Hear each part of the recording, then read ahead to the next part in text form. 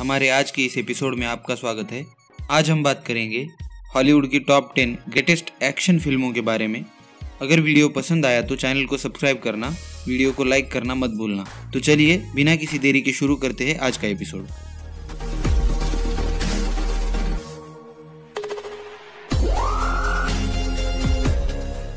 Hollywood की best action फ़िल्मों की लिस्ट में नंबर 10 पर है 2012 की मार्वल स्टूडियोज की super hero film the Avengers.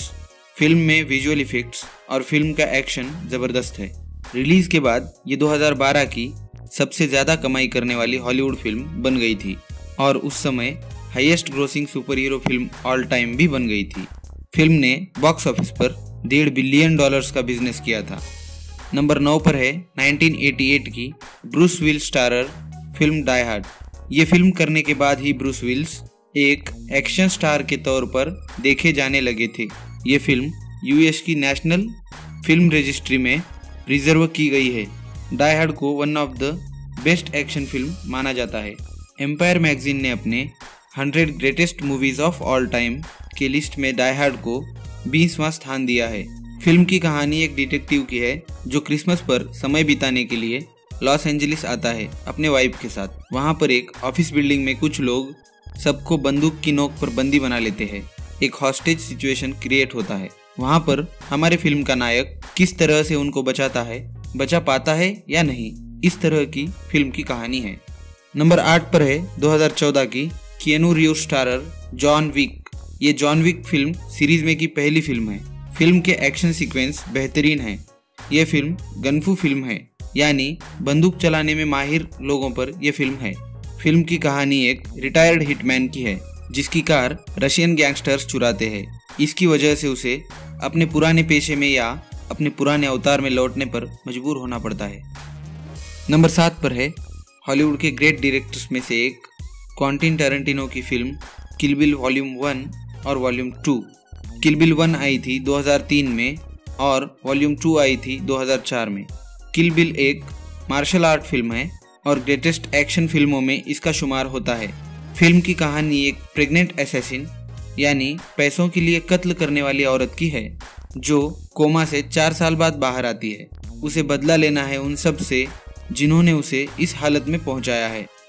हमारे आज की इस लिस्ट में नंबर छह पर है 1991 की अर्नोल्ड फेजनेगर स्टारर और Avatar Titanic film director James Cameron की फ़िल्म टर्मिनेटर 2 जजमेंट है। टर्मिनेटर 2 उस समय की मोस्ट एक्सपेंसिव यानी बनाने में सबसे महँगी फ़िल्म थी। ये 1991 की हाईएस्ट ग्रोसिंग फ़िल्म भी थी, जिसने कमाए थे 520 मिलियन यूएस डॉलर्स इस फ़िल्म को best sound editing best sound mixing best makeup और बेस्ट विजुअल इफेक्ट्स के लिए ऑस्कर दिया गया था।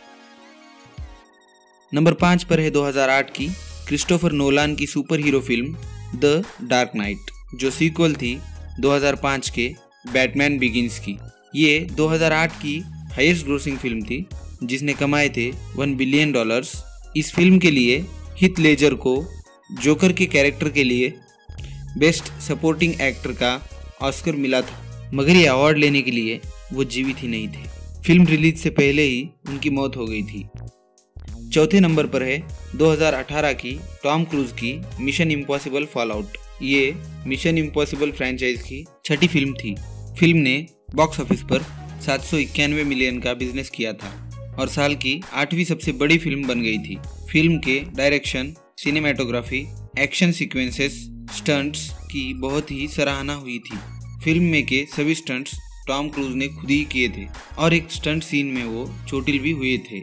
उनको सर्जरी के बाद नौ हफ्तों तक रेस्ट करना पड़ा था। तीसरे नंबर पर है साल 2000 का बेस्ट फॉरेन लैंग्वेज फ़िल्म का ऑस्कर जीतने वाली Chinese film Crouching Tiger, Hidden Dragon. Film के डायरेक्टर थे लाइफ ऑफ़ पाई बनाने वाले एंगली इस फ़िल्म ने दुनिया भर से 40 अवार्ड जीते थे। इस फ़िल्म को 10 ऑस्कर नॉमिनेशन भी मिले थे। ये एक मार्शल आर्ट फ़िल्म है। आज की इस लिस्ट में नंबर दो पर है 1999 की मैट्रिक्स फ्रेंचाइज की science fiction film the Matrix. इस फ़िल्म से ही bullet time visual effect popular हुआ था। इस फ़िल्म ने चार ऑस्कर अवार्ड जीते थे। इस फ़िल्म को one of the greatest science fiction film of all time माना जाता है। फ़िल्म को 2012 में यूएस नेशनल फ़िल्म रजिस्ट्री में प्रिजर्व किया गया है। फ़िल्म के एक्शन सीन्स और फ़िल्म का मार्शल आर्ट काबिल तारीफ़ है।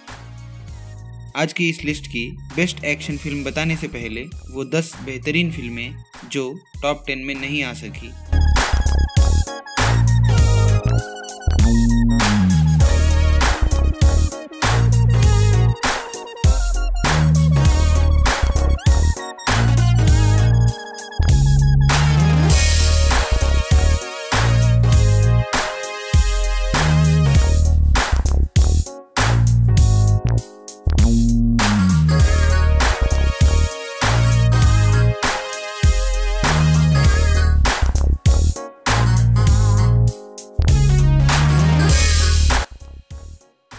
और आखिर में नंबर एक पर है greatest action film of all time Mad Max Fury Road film आई थी 2015 में। फ़िल्म के डायरेक्टर थे मैड मैक्स फ्रेंचाइज के creator George Miller Mad Max Fury Road post apocalyptic action film है। यानी कयामत आने के बाद की दुनिया इस पर फ़िल्म बेस्ड है। फ़िल्म के एक्शन सीन्स के लिए स्पेशल गाड़ियाँ डिज़ाइन की गई थी। फ़िल्म के सभी action scenes real without VFX के शूट किए गए थे। इस फ़िल्म को ग्रेटेस्ट एक्शन फिल्म्स की लिस्ट में हर फ़िल्म मैगजीन्स और क्रिटिक्स द्वारा शामिल किया जाता है। तो ये थी वो दस बेस्ट एक्शन फ़िल्में जिन्हें आपको ज़रूर देखना चाहिए। आपके हिसाब से कौन सी फ़िल्में और है जो बेस्ट एक्शन फ़िल्में हैं? या इन फ़िल्मों का आपके हिसाब से क्या क्रम होना चाहिए? ये हमें कमेंट सेक्शन में ज़रूर बताइए।